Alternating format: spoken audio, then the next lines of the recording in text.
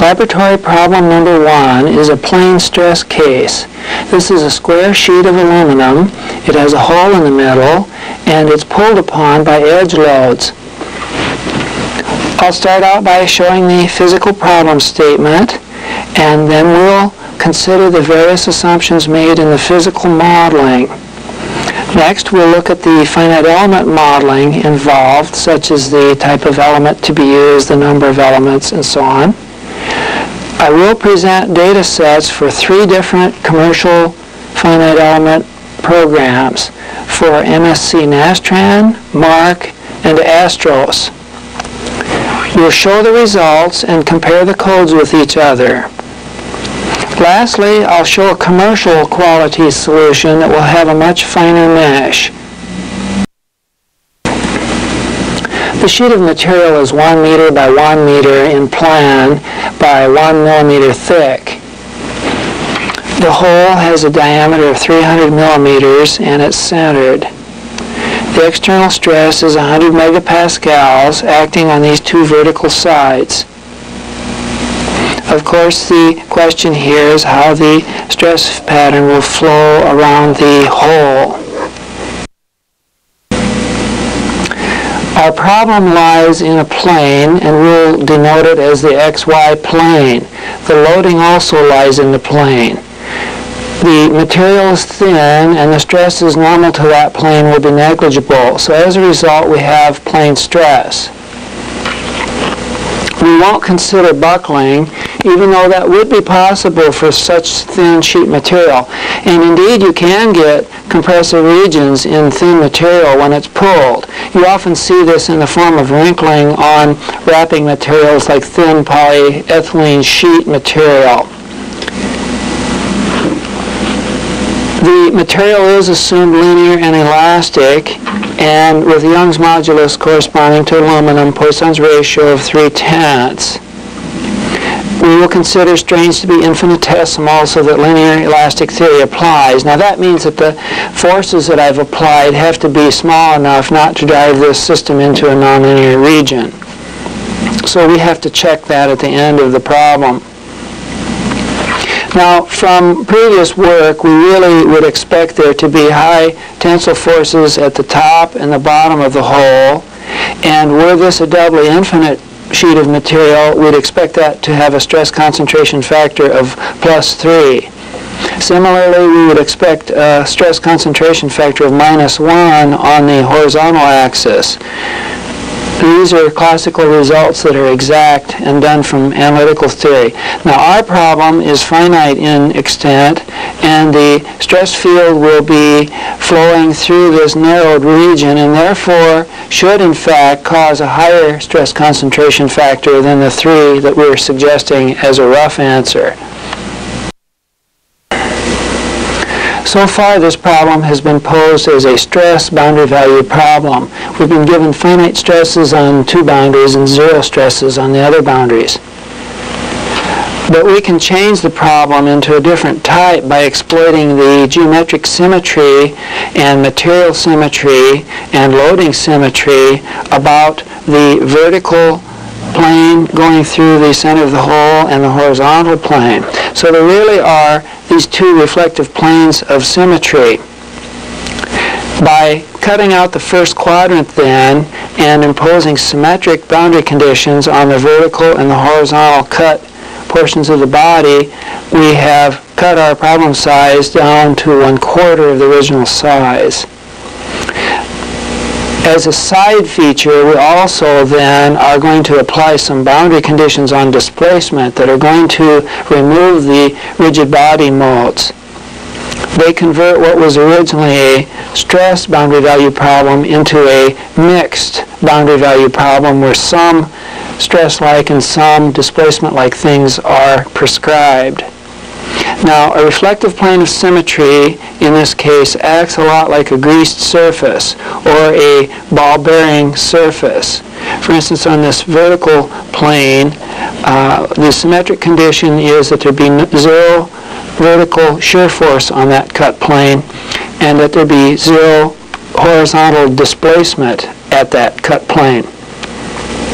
And that's similar to what a grease surface would have where the uh, sheet metal would be forced to maintain contact with that surface but could slide up and down it. And then the same conditions hold uh, on this horizontal plane of symmetry, namely zero displacement normal to that plane and zero force along the plane, along that cut plane. Now that we've posed the physical problem, we have to do our finite element modeling. I'm going to propose a very simple model with just two elements of a quad 8 type. Some codes only have four noded plate and shell elements, and then you would need perhaps eight quad 4 elements to get the job done. That's how we'll solve the problem with the Astros code, for instance. Now in the Nastran series there is a quad 8 element which is basically a shell element but we would only use the in-plane stresses for that element as results. The MARC code uh, which might be typical of others has special plane stress elements so we use an 8-noded plane stress element from MARC. So no matter what your particular code at your own um, installation is, uh, you need to pick an element that would model the in-plane part of the stress field. Rather universally, the degrees of freedom in a finite element problem are numbered 1 through 6, where 1, 2, and 3 are translations, 4, 5, and 6 are rotations about those same XYZ axes. In our problem, since this is to be plane stress, we're only interested in the 1 and 2 coordinate directions. We can therefore constrain the degrees of freedom 3, 4, 5, and 6 uh, and save some computer time. That isn't necessary, but it will help simplify the solution. So notice on this figure that I've applied the displacement boundary conditions, which are to be to constrain degrees of freedom 1 on these nodes on the vertical reflective plane and to constrain degrees of freedom 2, or the y direction, on the horizontal reflective plane. Now since we don't mention the forces on those external nodes, those forces are by default set to zero, and that gives us the other part of the reflective symmetric boundary condition. So we get that by default. Now the live loads are shown in red, and these are consistent with a parabolic uh, shape function in the interior of the element. So these are equivalent nodal loads, and you can show that from energy methods. Currently, we don't have the theory for that, but we'll show that in a few lectures and convince you that this is the best way to apportion the loads when the element can move with uh, parabolic displacement field. For the one code that is going to use linear elements, or at least so-called bilinear displacement functions, which is the Astros code, we're going to use quad 4s. Then we'll go back to a linear apportionment of these uh, forces, and it will be in a little bit different pattern. Our first data set is for MSC Nastran. We use two quad 8 shell elements for our model, and the numbering is done in the order first for the vertices A, B, C, and D, and then following that the midsides E, F, G, and H. And the E has to come between the A and B as shown. So you start off the midside nodes uh, in the same order that you did the vertex numbering.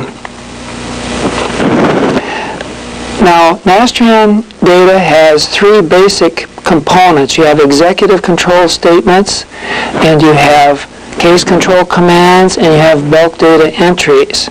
Those are all mandatory, and in addition, you can have some introductory cards that are optional. Here I'm showing an assignment to bring some data out of Nastran through the channel called Output 2 and to be entered into a file p1.f12. This is going to be the post-processing information. Later we'll set a parameter that will allow this to be read by Patran.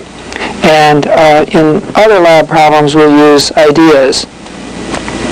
Now the executive control statements are more along the line of the big picture. Uh, the identification of the problem, setting a time, asking for a solver.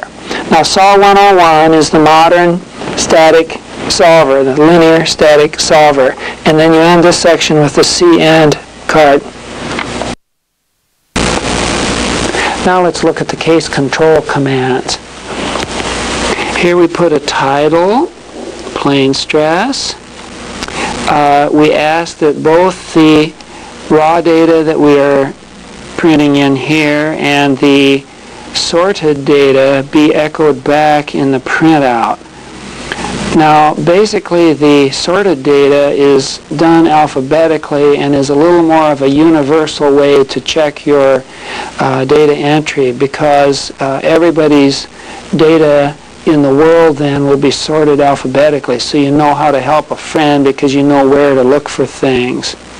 So uh, at some point you may uh, get rid of the echoing back of the raw data by just saying sort here instead of echo, S-O-R-T.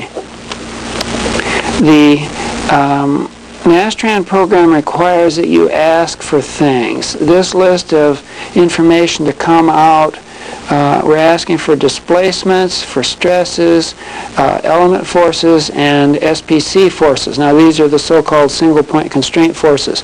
I find them very useful to help on determining whether you have a well-posed physical problem because you want your reaction forces, which these are, to balance the live loads, and it's a good check. Displacements, of course, you would think you might always want, but not clear. In a really, really large structure like a nuclear reactor, you might not want them. Likewise, stresses, not clear. You want all stresses everywhere. And so if you're puzzled by the fact that you have to ask for output, uh, remember that the Nastran family of codes has been set up for really, really large problems. And it is possible to run it and get no output at all unless you ask for it. With the reason being that people want to avoid having a truck roll up with a whole semi-trailer full of computer output on the, say, the stresses in your entire aircraft carrier or your entire uh, nuclear plant. Um, then you can use subcases within Nastran, and these are very useful. You can even change boundary conditions within the subcase level. That helps you solve problems with reflective planes that have both symmetric and antisymmetric loading because then you need to have symmetric and antisymmetric boundary conditions and sum up those results. And that's all rather well automated within the uh, MSC Nastran program.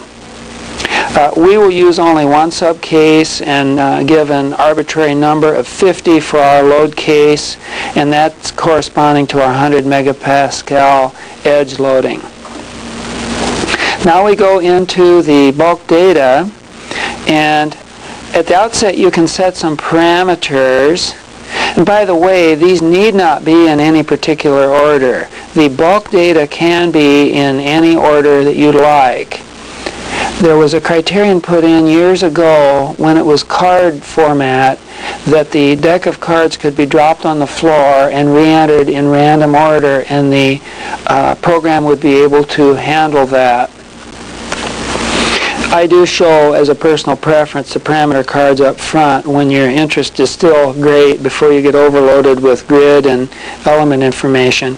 And the so-called automatic single point constraint uh, feature will constrain any degrees of freedom that have not been given stiffness and will allow a solution then of a rather pathological problem.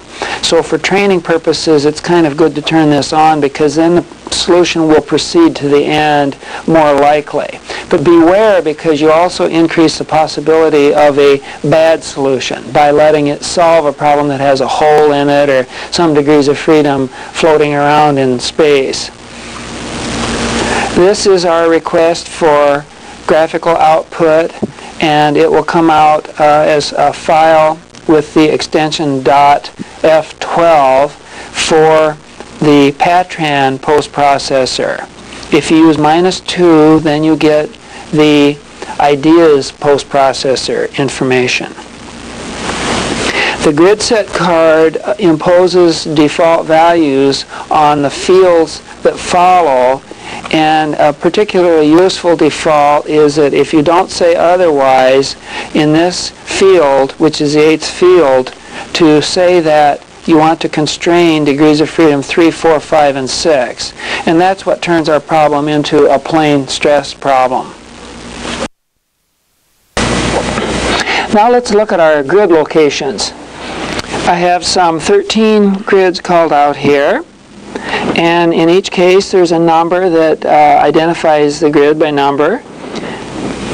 The third field shown in this um, free format is a default blank, and that will default to the basic coordinate system, which is a right-handed rectangular coordinate system. Then you give the three co components here, the x, y, and z components in that coordinate system. There follows another field that's another default in this case, but could have been set to another coordinate system to be used for intermediate calculations and for printing data out. In the eighth field, we have the permanent embedded single point constraint list, and this would replace the default value that the grid set card mentioned earlier would have imposed. So on the vertical reflective plane, we bring in these constraints where the, the 1 has to do with constraining the x displacement, and then the 3, 4, 5, 6 make it a two-dimensional problem. Notice that we don't um, override the default on this uh, field in the remaining interior cards, and so we do get the default there. On the horizontal reflective plane, we do something similar, but we constrain the number two degree of freedom, which is the y displacement, and then we add the um, constraints needed for two-dimensional problems. Now that you have your grids all located, now you can do the connectivities for the elements. There's a connectivity card, a C-quad 8, uh, identifying the first element, it in turn refers to a P shell card or a property card that's on the next figure, not on this one. And then you give the location, uh, that is the ordering of the nodes that are at the vertices, and then the midside nodes. Now they run over to the next line here on a continuation line, and we have a symbol here that lets you know that the line is to be continued. In fact, the plus is the key here in both the first column of this 10th field as well as the first column of the first field on the continuation line. Sometimes this is called the parent card or image and this is called the child. And if you leave out one of these or the other, the uh, Nastran program will yell at you and say, hey, there's an orphan child. Our second quad element uses the same property card, and that can be a convenience because, as you would expect, then you could change a whole bunch of elements' properties just by making one entry change in the P shell card. Now, as promised, we'll look at the P shell card next. And here it is. Uh, it was referred to under its own ID 29. And then it in turn refers to a material card, a MAT1 card 13, which is down here. Now the relevant property of such a shell element is the thickness shown here.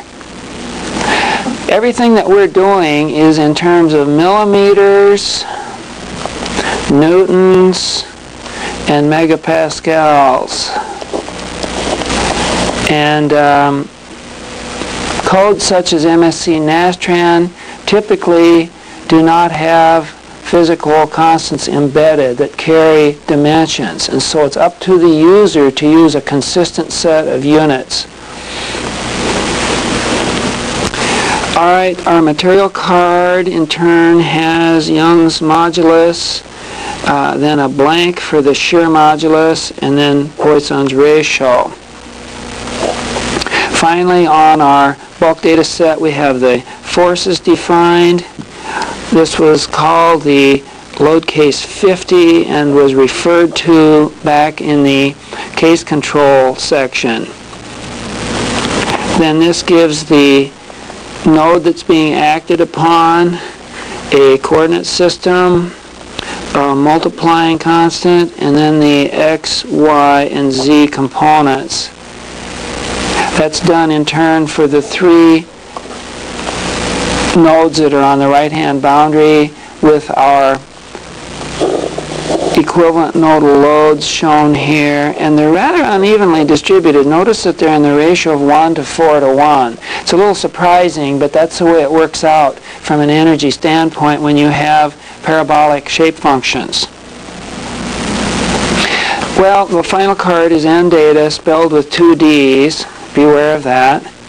And so this constitutes our data set, everything above. Currently, the way such a code would be run, and, and I do it on my workstation, is to take this data set and then transmit it to perhaps a larger machine somewhere and have the problem run. The analysis program uh, will look for a data set that has extension .dat. We'll do the calculations. We'll put out uh, kind of a log under a .f04 extension. It will give the complete printout under .f06 and we'll give the graphical results under .f12.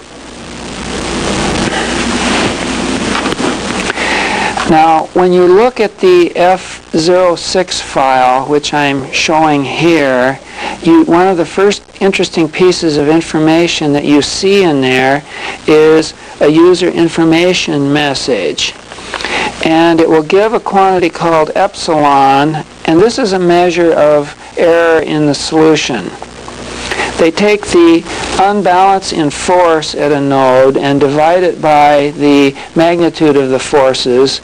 And basically, this tells you how many significant figures you have remaining.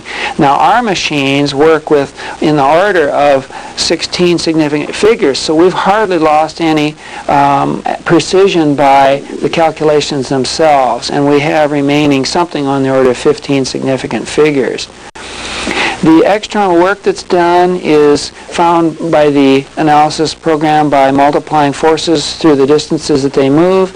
And you want to check that and make sure that it's not a, an exceedingly large number. If it is, you might have what's called a mechanism where one of the nodes is moving rather freely and then the applied load moves through really large distances.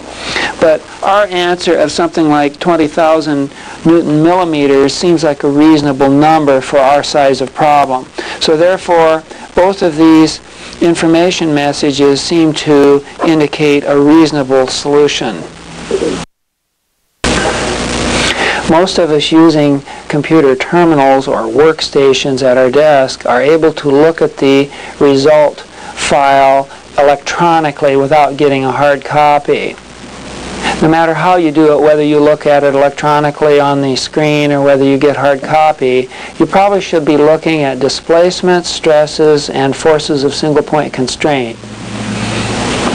Let's start with displacement vector here, and when we do, we see that the largest displacement is on the horizontal axis under the load at node 13 and the displacement is 1.13 millimeters, which is not a, an unreasonable deflection. There is a y displacement that is the highest of the y displacements, and this is like a Poisson's ratio contraction up at the top boundary on node 3, which is on the uh, vertical reflective plane. So the body tends to expand and in the x direction and then contract in the y direction, much as in a Poisson's ratio contraction. Now let's look at the stresses in the two elements. Here we have the sigma x, the sigma y, and then the major and minor principal stresses and the von Mises stresses. Now, I do abridge the results in order to fit it onto these pages, and so the formula that you're seeing is not precisely the form written out by MSC Nastran. Uh, one thing I do often is suppress the fact that these are conventional grid points rather than scalar points, so I remove that information. Secondly, on our plane stress problem, we really don't care if we're uh, plus 0.5 or minus 0.5 millimeters from the um, neutral surface. In this case, I've cut out the stresses on the other uh, side of the body, so we just look at plus 0.5 millimeters. Now let's concentrate on the principal stresses and we find that the maximum tensile stress is at um, element number one at grid one which is the top of the hole and it actually gives a stress concentration factor of 2.74 compared with the uniform applied stress of 100 megapascals.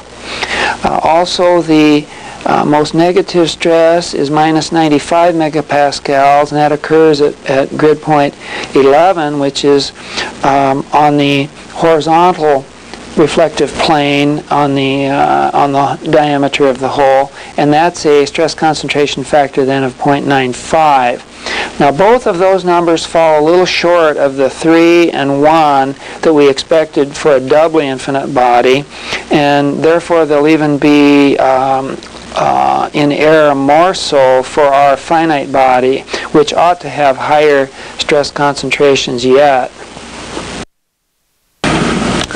A very useful diagnostic for finite element run uh, is the list of single point constraint forces. And the reason is that those forces ought to react to live loading on the system. Here are the MSC Nastran forces of constraint, and those that lie on the vertical reflective plane at grid points 1, 2, and 3 are shown here. Those do add up to oppose the live load of 50,000 newtons. On the horizontal reflective plane, grids 11, 12, 13, we have these SPC forces here, and they add up to zero. So uh, that's why you have some positive and some negative terms. Now, I won't discuss these further, but we'll defer until we get a composite picture where we can compare the three different commercial codes. Now let's switch to a different code and look at the data entry for the MARC code. Here we have access to an eight-noded quadrilateral it's numbered in the same way as the Nastran uh, connectivity was numbered A, B, C, D, and then the midside nodes E, F, G, H. The fact that it's actually a plane stress element means that it's been specialized for the in-plane problem. Now in the MARC code you can either use free format or the rigid format rigid format is used for this first set of uh, information. The title, you can have these as many as you want, fields of 10 here for the word title, and then the uh, comments following which appear on the various forms of output. Sizing, we're asking for 400,000 words of uh, memory, high-speed memory. This isn't so appropriate probably if you have a dedicated workstation. Um, element type, we're having element type 26, which is our eight-noded plane stress element. And that's the end of the uh, introductory information. The next figure will show a number of control cards for MARC.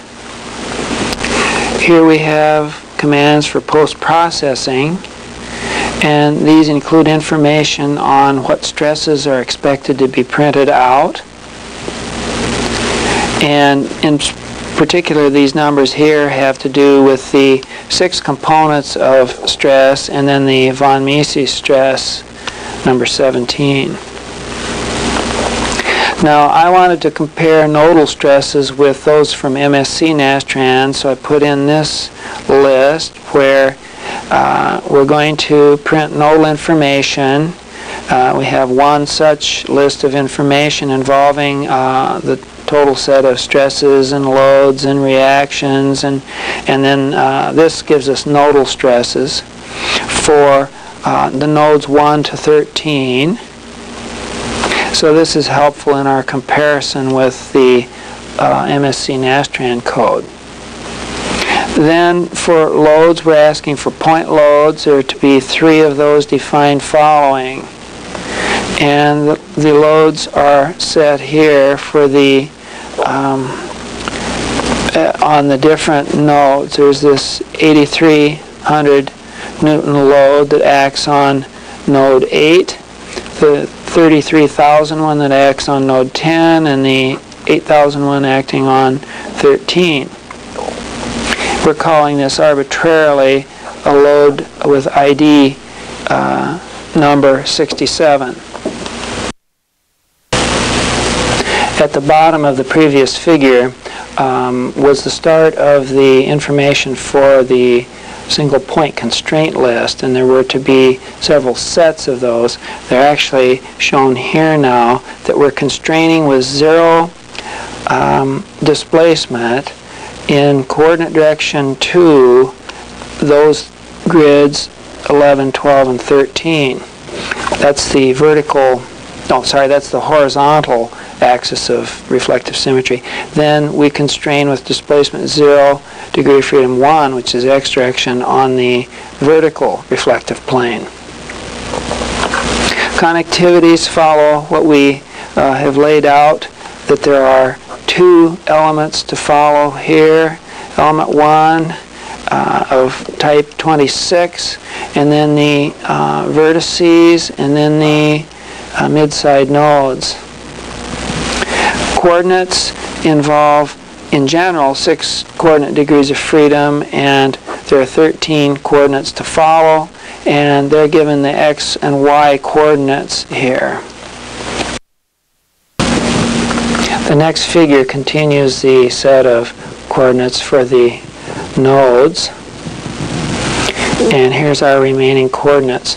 Then we have the material information, isotropic, and uh, there's just one set of such um, lines. Uh, we're calling it material number 13. We're giving a Young's modulus and a Poisson's ratio, and this applies to elements 1 and 2.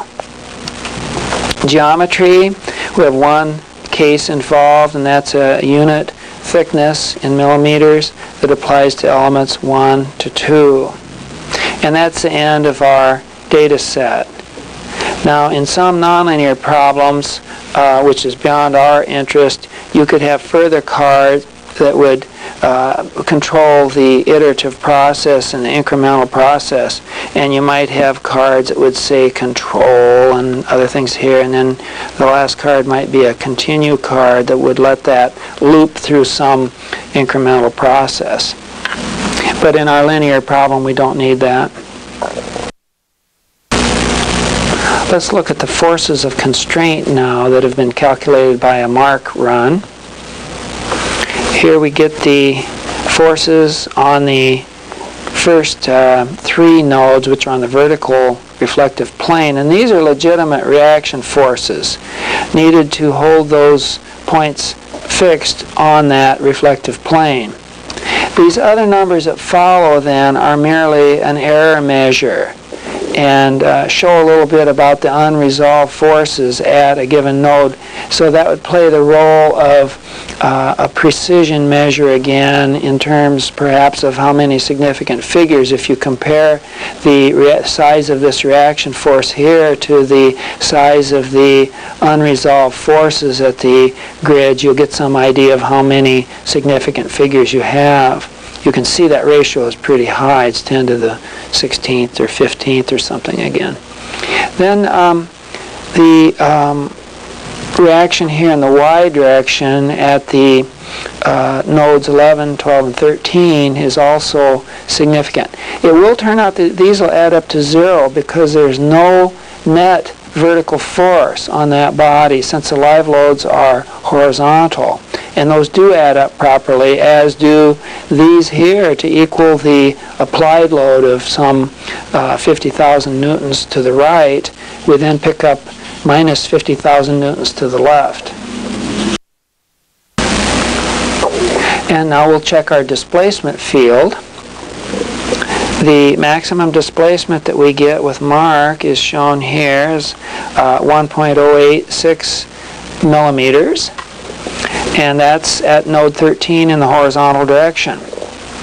The Poisson ratio contraction causes this 0.44 millimeters at node 3 uh, and it's negative. In other words, the body is uh, contracting uh, downward at that point. We also look at the stress field to see what sort of stress concentration factors that we obtain. And by the way, we aren't taking these stresses too seriously because we know this is an academic problem with only two elements. Uh, nevertheless, it's interesting how well the codes do.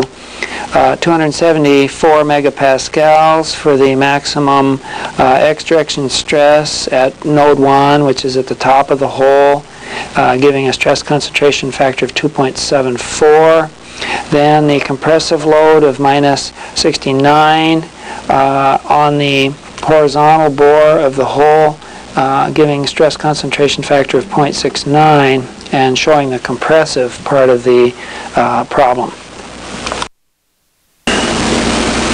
Now let's look at the Astros data set. These are generally compatible with the COSMIC Nastran, so if you are interested in COSMIC Nastran, you can follow this pretty closely. Um, what I've done is to use eight quad 4 elements here and uh, that's going to be a slightly different technology. The stresses are given at the element centroids shown as red dots and so this time we're not going to be able to compare as accurately with the uh, MSC Nastran and the MARC results which are at the corner nodes but we'll nevertheless it fills out a stress pattern uh, which is kind of interesting. Uh, we've had to add interior nodes 14 and 15 then, which didn't appear in the other simple model. So we now have 15 nodes. The data for this problem are shown in the next figure for Astros. Um, these lines are called solution control data and uh, there's an assignment of a database, uh, request for a solution, titles given, and here we have the commands to analyze and uh, boundary, statics, label, print. I guess the print is interesting because again we need to ask for displacements, stresses, SPC forces, and then element forces.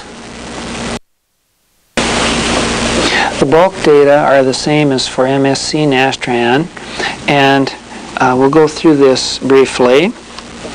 The grid set card is useful for imposing default conditions on the problem. In particular, when you have a plane stress problem, such as we are uh, studying here, you may want to constrain all of the unneeded degrees of freedom. So unless you say differently, then the eighth field will have these numbers 3, 4, 5, 6 embedded. Now, when you write out your grid locations here, grid 1 is given uh, a coordinate system by default to be 0 here, which is the basic Cartesian underlying system. Then you write the x, y, and z coordinates for that node. You have a chance for a second coordinate system here in which your results can be printed out and in which you can do certain intermediate calculations. But when you come to the field where you put what are called permanent embedded single point constraints, then since we override the default in order to get uh, the reflective boundary condition that uh, there should be no x displacement. We also have to add the other um, constraints because once you've overridden the default, you aren't going to get part of them back. In fact, there would be no way for the program to anticipate which part of that default you wanted and which part you didn't want. Uh, now, this default up here will, in fact, though, apply to all the intermediate nodes shown here. And so that will bring our problem into a two-dimensional problem status. So um, we've added the final two interior grids here at uh, grid points 14 and 15. Um, the grid set, uh, sorry, the grid definition is pretty straightforward, I would say. Next, we'll define the quad 4 element connectivities. And again, we have this uh, triad where you have a connectivity card that points to a property card that points to a material card. And that allows rather efficient change of your structure, whether you're changing a material or a thickness of a shell, that you can make that change with relatively few changes to the data. Now, the first quad, for instance, points to property 23 down below here and has connectivity 1, 4, 14, and 2, which you can see from the uh, mesh that we showed earlier is a proper um, way to connect. Now there's no worry about whether these are clockwise or co counterclockwise typically because if they're plate elements they would normally be embedded in three dimensions. So uh, you can do those, uh, you know, depending how you build your structure you could be looking at those plates from either side. So there's uh, no uh, preferred uh, direction of the way that you enter those except they have to be consecutive around the vertices. All right, in the P-shell card, uh, we refer then to a material card, which I'll draw a triangle here, is here. The only uh, entry on the property card is the thickness of the shell at one millimeter. In the material card, you have Young's modulus, and then the shear modulus left blank, and then the Poisson's ratio, because you only need to give two of the three isotropic elastic constants. The forces are given here uh, our load case 67 with forces on grid points 8, 10, and 13. We're using our basic coordinate system with a load factor of 1. And in this case, we're using the linear distribution of forces. So these are equivalent nodal loads here based on linear shape functions, or at least what you call bilinear in the quad element. Uh, that is, the function will be linear on any side any straight line side. And there are no uh, y nor z components. Then you end your data set with the word ENDDATA, spelling it with two D's. Let's look at the Astros displacements now. The x displacements are given here, and the largest x displacement is at node 13 as we expect and it's 1.097 millimeters. That's just a bit less than the Nastran solution and a tiny bit more than the MARC solution. The vertical displacement is the largest at node 3, where the top of the body is contracting by a Poisson's ratio effect, and we get a minus 0.46 millimeters there. The forces of constraint that are obtained from Astros have to be done by going into the database and picking them out. So it is a special function. They're shown here, and the numbers will be put on a figure later for comparison with the other codes, so they don't mean much here. But again, you'll find that if you add these horizontal forces of constraint, that they will directly oppose the live load, and then that these forces of constraint on the right here add to zero because there is no live vertical load on that body. Stress is given by the commercial codes very widely. Uh, sometimes the default is the nodal stress, sometimes it's centroidal, sometimes it's at the Gauss points. Now for the quad 4 and Astros, the centroidal stress is the default that's the most easy to obtain.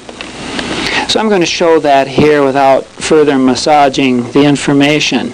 And when we do that, we find that the highest stressed element is number one, which is closest to the stress concentration at the top of the hole. And you get 182 megapascals, which is a modest stress concentration measure.